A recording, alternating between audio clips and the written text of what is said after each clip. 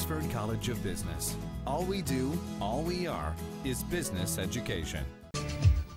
අයිබෝවන් වැඩ්පත්ද සහ රටේ ආර්ථිකය සම්බන්ධව කතා කිරීම සඳහා අපි මේ මොහොතේ අපගේ මැදිරියට සම්බන්ධ කරගත්තා. කොළඹ විශ්වවිද්‍යාලය ආර්ථික විද්‍යාව පිළිබඳ මහාචාර්ය සිරිමා ලබේරත්න මහතා. අයිබෝවන් ඔබට? අයිබෝවන් ඇත්තටම වැට් වැඩ්බත් මේ මොහොතේ වන විට අත ජනතාවට විශාල ප්‍රශ්නයක් වෙලා තිබෙනවා මේ වැඩ්බත්ද කියන එක එලෝලු ටික ගන්න ගියත් වැට් එහෙම නැත්නම් කිරිපිටි පැකට් එක ගන්න ගියත් වැට් හාල් ටික ගන්න ගියත් වැට් මොකක්ද මේ වැට්පත්ද කියන්නේ.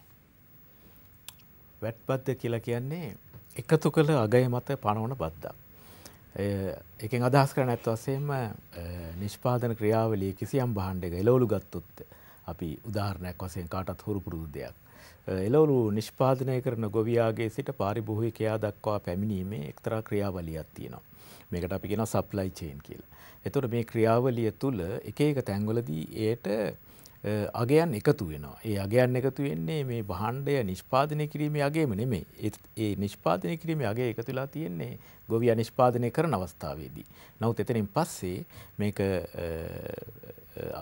මේක ප්‍රවාහනය කරනකොට මේක ගබඩා කරනකොට ඒවගේම තොග වෙළඳාමට ඉල්ළඟට එක වෙළඳ පොළොවල්ලොට එනකොට ඉළඟට තොග වෙළඳාගෙන් සිල්ලර් වෙළෙන්දාට යනකොට ඒ වගේ විවිධ අවස්ථාවලදී එක එක අයගේ ලාභාංශ එකතු වෙනවා. ඒ වගේ මේක ඒක අය ගන්න ගෙවන වැටුප් එකතු වෙනවා. ප්‍රවාහන ගාස්තු එකතු වෙනවා. ඉතින් මේ සියල්ලම තැන් තැන්වලදී එකතු වීම නිසා තමයි එකතු කළ අගය කියන එක වෙනස් වෙන්නේ. මේ භාණ්ඩයක් නිෂ්පාදන අවස්ථාවේ සිට පාරිභෝගිකයාගේ අතරපත් වෙන තුරු. ඉතින් දැන් වැට් මේ එලෝලු මිල බොහෝ ලෙස වැඩි වෙලා තියෙනවා. එතකොට මේ එලෝලුත් මේ වැඩ්බද්දට එකතු වෙනවාද මොනවද නිදහස් බාණ්ඩ සහ වැට්වලට අයිති බාණ්ඩ. ඒක නම් මතනේ රජය ප්‍රකාශයට පත් කළ යුද්ධයක් වෙනවා මොනවද අයිති බහන්ඩ සහ මොනවද අයිති නැති බහන්ඩ මෑතදී පත් කර මෑතකදී ඇතුළත් කරපු අධ්‍යාපන වියදන් සහ සෞඛ්‍ය වියදන් කියන දේවල් දෙකත් ඇතුළත් වෙලා ඒක දේශපාලනික වශයෙන් සංවේදී ප්‍රශ්නයක් බවට පත් වෙලා තියෙනවා. ඉතින් ඒ වගේ මොනවද ඇතුළත් කළ යුත්තේ ඇතුළත් නොකළ යුත්තේ මොනවද කියන එක රජය විසින් තීරණය කළ යුතු ප්‍රශ්නයක් වෙනවා. නමුත් වැට්බද්ද කියන එක ලෝකේ හැමතැනම ක්‍රියාත්මක වෙන සාධාරණ බද්දක්. නමුත් ඒකේ සංකීර්ණතාවයක් තියෙනවා. මොකද්ද සංකීර්ණතාවය? අර එකතු කළාගේ එක එක අවස්ථාවන්වලදී එකතු කළාගේ කියන එක මත පමණක් මුළු ආදායම් මත නෙමෙයි බද්දාය කරන්නේ තමන්ගේ ලාභය සහ තමන්ගේ උපු වැටුප් වගේ දේවල් මත පමණයි. අන්න ඒ කාරණාව නිසා මේක ගණනය කර ගැනීම තමයි අපහසුතාවේ තියෙන්නේ. ඉතින් ඒකට සුදුසු ක්‍රියාමාර්ගයක් අවශ්‍ය වෙනවා වැට්පත්ද ගණනය කරන්න. දැන් මහචාර්යතුමනි සිංගප්පූරුව වගේ දියුණු රටවලත් මේ වැට්පත්ද ක්‍රියාත්මක වෙනවා. ඉතින් සිංගප්පූරුව වගේ රටවල මේ වැට්පත්ද ඉතා ක්‍රමානුකූලව හොඳින් ක්‍රියාත්මක වෙනවා. ඇයි අපේ රටේද මේ වැට්පත් මේ ආකාරයට ප්‍රශ්නකාරී තත්යකට මතුවලා තිබෙන්නේ? මේක ජනතා හිතවාදීද මේ වැට්පත්ද කියන්නේ? වැට්බත් ඇත්තවසේම ජනතා හිතවාදී මොකද මේක මුළු ආදායම් මත පනවන බද්දක් නොවන නිසා. මුළු ආදායම් මත පනවන බද්දක් නම් ඒක ජනතා හිතවාදී වෙන්නේ නැහැ. මොකද බදු එක එක තැන්වලදී දෙතුන් පාරක් බදු අය වෙන නිසා. නමුත් වැට් බද්ද දෙතුන් පාරක් අය වෙන්න එක පාරයි අය වෙන්නේ නිසා තමයි ඒක ජනතා හිතවාදී වෙන්නේ. ඉතින් අපි සංවිධිත සමාජයක ජීවත් වෙන පුරවැසියන් වශයෙන් බදු ගෙවීම කළ යුතු වෙනවා. නමුත් හදිසියේ බදු ඒවා වෙනස් වීම සහ ඒ වගේ දේවල් සිද්ධ වෙනකොට ප්‍රශ්න ඇති වෙනවා. දැන් වැට්බත් ලෝකේ හුඟක් රටවල ක්‍රියාත්මක කරන්න ඒකට සුදුසු යාන්ත්‍රණයක් තියෙනවා. ඒ යාන්ත්‍රණය තමයි ආර්ථික කටයුතු ආර්ථික ගනුදෙනු නිසි පරිදි වාර්තාගත වීම. එතකොට ව්‍යාපාරිකයෙක් නම් සිල්ලර වෙනදාම කරන කෙනෙක් නම් ඇත්ත වශයෙන්ම ඒක ගනුදෙනු ඒ ගනුදෙනු බොහෝ විට දියුණු රටවල් නම් පරිගණක පාවිච්චි කරනවා කම්පියුටර්ස් පාවිච්චි කරලා ඒ වගේ සඳහන් වෙනවා. නමුත් අපේ වගේ රටවල් හුඟක් අවිධිමත් අංශයක් තියෙන නිසා මේක හරියටම වාර්තාගත වෙන්නේ නැහැ. ඉතින් ඒ නිසා තමයි මම හිතන්නේ වැට් බද්ද අය කර ගැනීම සමහර විට ගැටලු සහගත වෙන්නේ. මහචරිතුමනි දැන් මේ ව්‍යාපාරිකයනුත් වැඩබද්ද සම්බන්ධයෙන් ඉතා විරෝධයක් පළ කරන පසුගිය දිනවල අපි ප්‍රවෘත්ති තුලිනුත් දුටුවා. ඉතින් මේ ව්‍යාපාරිකයන් සමහර ව්‍යාපාරිකයන් මේ වැඩබද්ද සම්බන්ධයෙන් කිසිම දැනුවත්කමක් නැහැ. මේ ව්‍යාපාරිකයන් සම්බන්ධයෙන් කුමන පියවරක්ද අපිට ගන්නට පුළුවන් මේ වැඩබද්ද සම්බන්ධව ක්‍රියාත්මක වෙනකොට? අපි හිතනවනම් රටේ සියලුම පුරවැසියෝ සියලුම ආර්ථික කටයුතු වලට සම්බන්ධ වෙන අය බදු ගෙවිය යුතුයි කියලා. ඒ රටේ ආණ්ඩුව වශයෙන් ආණ්ඩු විසින් කළ යුතු යම් යම් මෙහෙවරයන් තියෙනවා ඒ පුරවැසියන් වෙනුවෙන්. ඉතින් මේ මෙහෙවරයන් සඳහා බදු ගෙවිය යුතුයි කියලා හිතනවා නම් සියලු දෙනාම බදු ගෙවිය යුතුයි කියලා මම අදහස් කරනවා. ඉතින් මේ බදු ආදායම් හරියට මේ අපි බලාපොරොත්තු වෙන විදිහට රටේ ජනතාව වෙනුවෙන් කරන මෙහෙවරයන් සඳහා හරියටම නිවැරදි විදිහට සාධාරණ විදිහට යෙදවෙනවාද කියන එක වෙනම කතා කළ යුතු ප්‍රශ්නයක්. නමුත් සාමාන්‍යයෙන් රටක් රටක ආණ්ඩුවක් විසින් ඉටු කළ යුතු සමහර සේවාවන් තියෙනවා. ඒ සේවාවන් වලට ඍජුව මිලක් අය කරන්න බෑ. ඒ වගේම තමයි වෙනත් අංශයක් පුද්ගලික අංශය වගේ අංශ එන්නෙත් නැහැ. ඒ වගේ කටයුතු සඳහා. ඒ නිසා නීති හා සාමය ආරක්ෂා කිරීම යම් යම් සුබ සාධන සේවා පවත්වා ගැනීම ඔය වගේ කටයුතු ගොඩක් රාශියක් තියෙනවා. ඒ නිසා ඒවට බදු ආදායමක් තියෙන්න ඕනේ. ජනතාව පොදුවේ ලබන සේවාවන් වලට ගෙවීමක් වශයෙන්.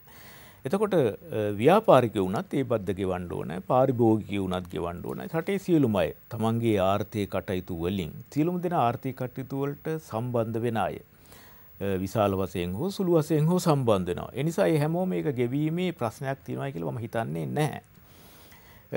ප්‍රශ්නේ වෙන්නේ දැන් ව්‍යාපාරිකයෝ ගෙවනකොට ඒ ව්‍යාපාරයේ ඇත්ත වශයෙන්ම මුළු ආදායමට නෙමෙයි වැට් බද්ද බලපාන්නේ. ඒ එකතු කළ අගයට පමණයි. එතකොට ව්‍යාපාරිකයෙන් තමන්ගේ ව්‍යාපාර සඳහා මිලදී ගත්ත අමුද්‍රව්‍ය තියෙනවා නම් කොටස් තියෙනවා නම් වෙනත් දේවල් පාවිච්චි කරලා තියෙනවා නම් ඒ දේවල් වලට කරපු වියදම අඩු කළායින් පස්සේ තමයි මේ එකතු කළාගේ කියන එක ලැබෙන්නේ. අන්න එකතු කළාගේට පමණයි මේ බද්ද අය වෙන්නේ. පැහැදිලි මහාචාර්යතුමනි වැට් බදු ලංකාව තුළ ක්‍රියාත්මක වෙන්නේ වක්‍ර බදු ක්‍රමයක්. නමුත් තමත් දියුණු රටවල ඍජු බදු ක්‍රමයක් තමයි ක්‍රියාත්මක වෙන්නේ. ඇයි ලංකාව තුළ ඍජු බදු ක්‍රමයක් ක්‍රියාත්මක කරන්න බැරි සහ වැඩිපුර ලෝකයේ වැඩිපුර දියුණු රටවල් වල තියෙන ඍජු බදු ක්‍රමයක් ඍජු බදු වලින් තමයි බදු අය කරගන්නේ. නමුත් ලංකාව තුළ මේ ක්‍රම ක්‍රියාත්මක කෙන්නේ මේ සඳහා යාන්ත්‍රණයක් සකස් කළ හැකිද? ඇයි අපේ රට තුළ රිජු බදු ක්‍රමයක් නැත්තේ.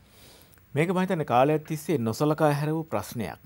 නමුත් ලංකාව අපි මධ්‍යම ආදායම් කාණ්ඩයට ඇතුළත්තුන් රටක් වස්සයෙන් සලකනවනං. ඒ වගේ රටවාලුල අපි දැකිය යුත්තේ රිජු බදුවලට වැඩි දායකත්වයක් දැකිය යුතුයි. සාමාන්‍ය මම හිතනස් මොරටේ ආණ්ඩුවේ මුළු බදු ආදායමෙන් සියයට හතලිය පණහත් දක්වා ආදායම් බදු සමාගම් බදු වසයෙන් දක්වන රිජු බදු සංයුතිය ඒ ප්‍රමාණයට වැඩි වෙන්න ඕන. නමුත් ලංකාවේ එක හුඟක් අඩුයි 120ක් හෝ ඊටත් අඩු ප්‍රමාණයක් තමයි දැන් තියෙන්නේ. ලංකාවේ ඒක වෙනස් වුන්නේ වෙනස් වෙලා නැත්තේ ලංකාවේ හරියට ආදායම් බදු අය කර ගැනීමේ ක්‍රමවේදයක් සකස් වෙලා නැති නිසා. ඇත්ත වශයෙන්ම බදු අය කරගන්නේ ජනතාව ඒ බදු ගෙවීතු අයට ඉල්ලුම් පත්‍රයක් ලබා දීලා තමන්ගේ ආදායම් සහ වියදම් පසුගිය වර්ෂවල වර්ෂ තුනක වගේ වෙන්න ඒ වගේ වර්ෂවල ප්‍රකාශයට පත් කරලා එතකොට ඒ වගේ අක්‍රමවත් විදිහට තමයි මේ බදු අය කිරීම කෙරෙන්නේ. ඒ නිසා තමයි අත් වශයෙන්ම බදු ලිපිගොනු බදු ලිපිගොනු ඉතා සුළු ප්‍රමාණයක් තමයි ලංකාව එකතු වෙලා තියෙන්නේ. ඉතින් දියුණු ක්‍රමයකට යනවා නම් මං හිතනවා ලංකාව කළ යුතු වෙන්නේ පස් පළමුවෙන්ම කළ යුතු වෙන්නේ රටේ සියලුම ජනතාව මේ මිලියන 20ක් 21ක් වන ජනතාව සියලුම දෙනා දත්ත පදනමකට ඇතුළත් වීමයි. ඒක බදු සඳහා පමණක් නෙමෙයි.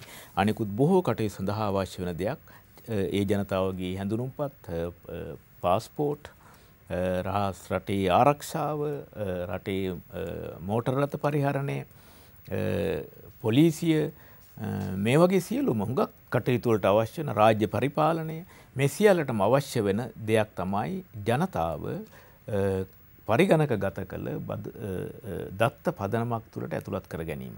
මේක අමාරු දෙයක් නෙමෙයි. ඉතින් ජනතාව අතිවිශාල වශයෙන් සිටින රටවල් වල පවා ඒක ක්‍රියාත්මක වෙනවා. ඉතින් ලංකාවේ සිටින ඉතා කුඩා ජනගහනයක්. ඒ නිසා මේක ප්‍රශ්නයක් නෑ. අන්න එතෙන්ට ගියා නම් මම හිතනවා අපිට පුළුවන් වෙනවා ආදායම් බදු නිවැරදිව සහ සාධාරණ විදිහට ගණනය කරගන්නත් ඒ වගේම බදු ගෙවිය ඇත ගෙවිය යුතු අය කවුද කියන එක හඳුනා ගන්නත් බදු නොගෙවිය යුතු අය සහ සහන ආධාර ලැබිය යුතු අය ඒ අය පැහැදිලිව හඳුනා ගන්නත් පුළුවන් වෙනවා. එනිසා අපි මම හිතන්නේ පළමුවෙන් කළ යුතු කාර්යය වෙන්නේ අපි ඒ වගේ දත්ත පදනමකට ගමන් කිරීමයි. එවිටකොට මං හිතනවා පුළුවන් වෙනවා අපි ඍජු බදු ආදායම අපේ මුළු බදු ආදායමෙන් වැඩි ප්‍රතිශතයකට ගේන්න බදු අනුපාත වැඩි නොකර බදු අනුපාතය එතකොට වැඩ් බදු වගේ දේවල් 15ක් අස්සෙන් තියාගන්න අවශ්‍ය වෙන්නේ නැහැ. ඒවා හුඟක් පහළට ගේන්න පුළුවන් වෙනවා.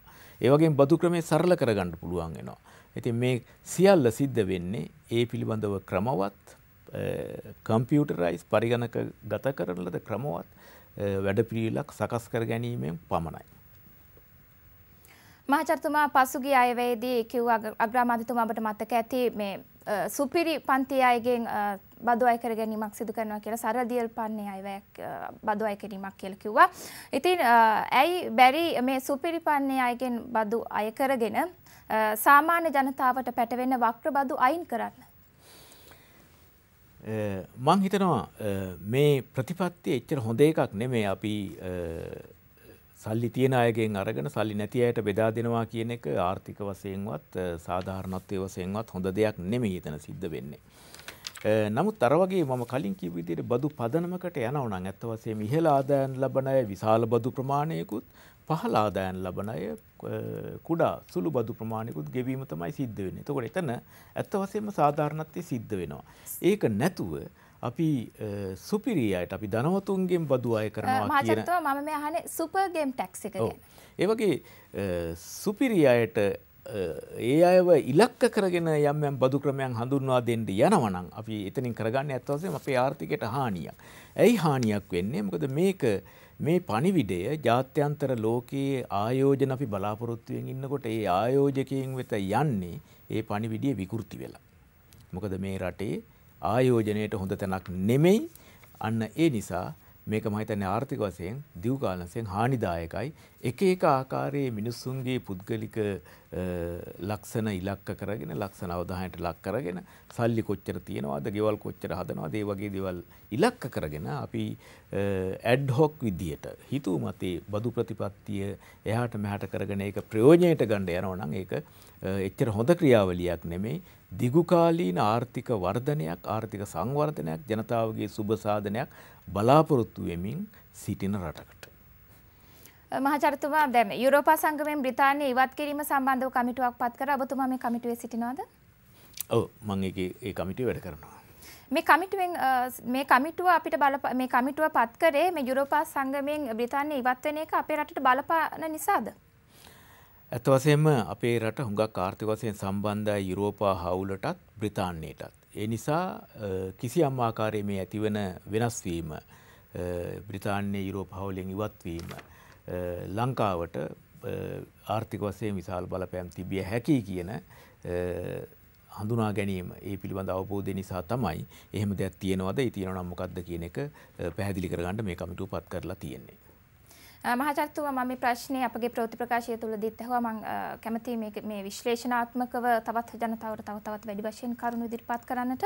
මේ සිල්ලර සහ සිල්ලර වෙළඳාම සහ තොග වෙළඳාමට අදාළව ක්‍රියාත්මක කරන ලැබුවා. මේ වැඩබද්ද මේක ක්‍රියාත්මක කරනු ලැබේ අලුතෙන්. මේ වෙළඳුන්ගේ ණය කර ගැනීම සඳහා ක්‍රියාත්මක කළ යුත්තේ කවර ආකාරයේ යාන්ත්‍රණයක්ද කියන මාතෘකාව.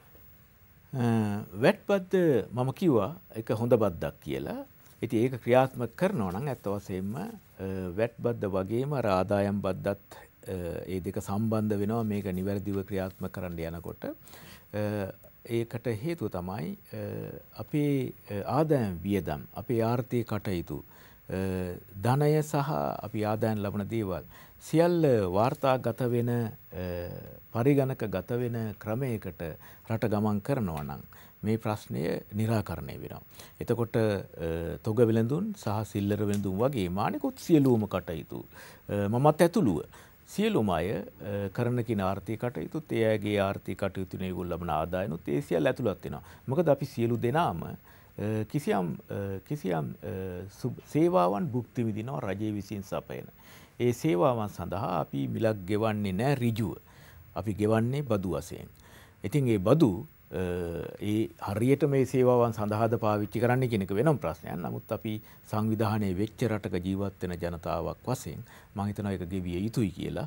ඉතින් ඒ ගෙවීම සාධාරණ වෙන්නේ අර වගේ සාධාරණ සහ ක්‍රමවත් වැඩ පිළිවිලකට රට ගමන් කරනවනක් තමයි. අවසාන වශයෙන් ඔබට වැට සම්බන්ධයෙන් කුමක්ද කියන්න තියෙන්නේ? මම හිතනවා අපේ රටේ තියෙනවා විශාල ප්‍රශ්නයක් රජයේ බදු ආදායම සහ වියදම. අපේ ගොඩක් ණය අරන් තියෙනවා. අපි ණය ගෙවන්නෙත් බදු වලින්. බදු ආදායමෙන් තමයි ණය ගෙවන්න ඕන. විදේශ ණය සහ දේශීය ණය ආණ්ඩුව අරන් තිනවා සියලුම දේවල් ගෙවන්න ඕන බදු ආදායමෙන්. එතකොට අපි පහුගිය කාලේ අතිවිශාල වශයෙන් ණය අරගෙනක් තියෙනවා. සමහරට අපේ සීමාවන් ඉක්මව ගත්තා වෙන්නත් පුළුවන්. ඒ වගේම තමයි පහුගිය කාලේ අපි ගොඩක් සහන දෙන්නත් උත්සාහ කරලා තියෙනවා රජය පහුගිය කාලේ වැටුප් වැඩි කළා, තෙල් මිල අඩු කරලා දුන්නා.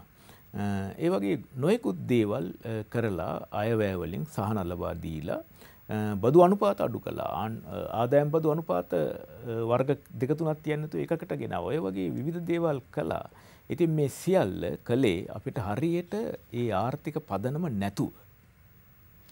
අන්න ඒ නිසා ඒ ආර්ථික පදනම නැතුව කරපු නිසා මංහිතන්නේ අපි අද ප්‍රශ්නකට මැදියලා ඉන්න ඒ ප්‍රශ්නයෙන් ගොඩයිම තමයි අවශ්‍ය වෙලා තියෙන්නේ. බොහොමත්ම ස්තුතියි මහාචාර්යතුමා ඔබගේ වටිනා කාලය අප සමග කැප කරගනිමින් අපිත් සමග සම්බන්ධ වීම සම්බන්ධයෙන් කොළඹ විශ්වවිද්‍යාලයේ ආර්ථික විද්‍යාව පිළිබඳ මහාචාර්ය සිරිමාල් අබේරත්න මහත්මයාට අපි බොහොමත්ම ස්තුතිවන්ත වෙනවා. ඉතින් වැඩසටහන නිමා කරන්නටයි දැන් සූදානම් වන්නේ. අපි යලිත් සූදානම් වෙනවා අද බ්‍රිතාන්‍ය අග්‍රාමාත්‍යවරිය නව අග්‍රාමාත්‍යවරිය දියුණුම් දීමට නියමිතව තිබෙනවා සවස් වරුවේ. අපි සූදානමින් සිටිනවා මේ සම්බන්ධයෙන් ඔබට දිගින් දිගටම තොරතුරු ගෙනෙන්නට රැඳී සිටින්න අද දරන 24/7 සමගින්. අද දෙරළ 24/7